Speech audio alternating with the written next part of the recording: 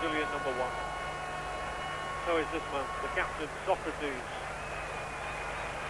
Constant clapping of Brazilian supporters goes off again away to our left in particular, which is the goal that Brazil are attacking now through Falcao. Eder has moved inside, finds Falcao, this is dangerous, trying to find Serginho, working it onto his left foot, oh, and Serginho, having worked the opening, couldn't get the angle. Well, it's a rueful sort of smile is that from the big number nine.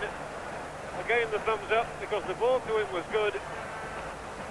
Serginho worked it beautifully and then wasted it.